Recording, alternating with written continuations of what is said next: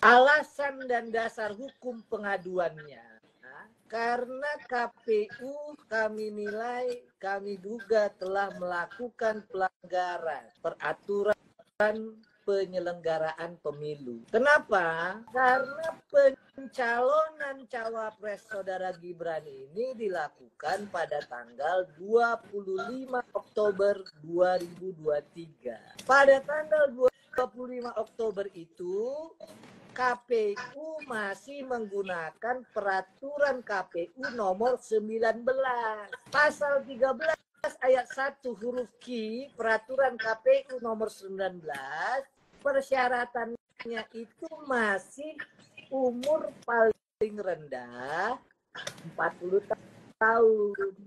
KPU baru merevisi peraturan berdasarkan kan putusan MK nomor 90 itu baru dilakukan Mas Firdaus pada ya. tanggal 3 November.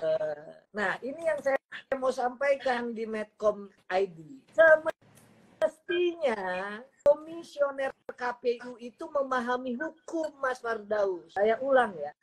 Semestinya para komisioner KPU itu memahami hukum. Semua putusan pengadilan, semua putusan kekuasaan kehakiman lebih dulu harus dieksekusi. Nah, dalam kaitannya inkasu putusan MK, secara teori dan praktik hukum, maka bentuk eksekusi putusan MK itu bisa dilakukan dengan paksaan atau dilakukan secara sukarela.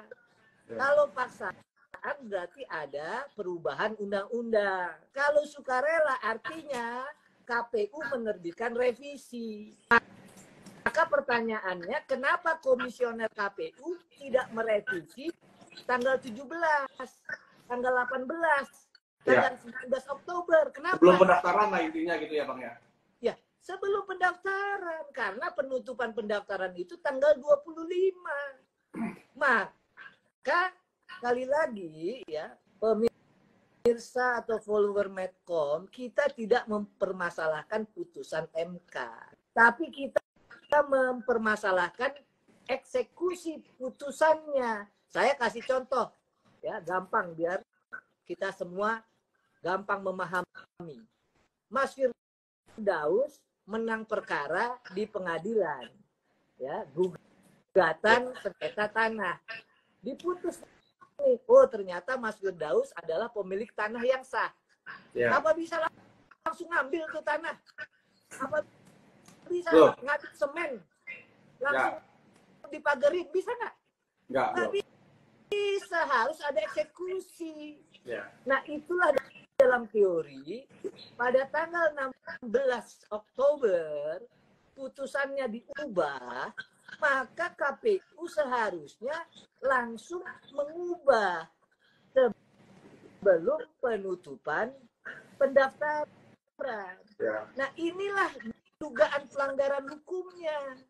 Hmm. Ya.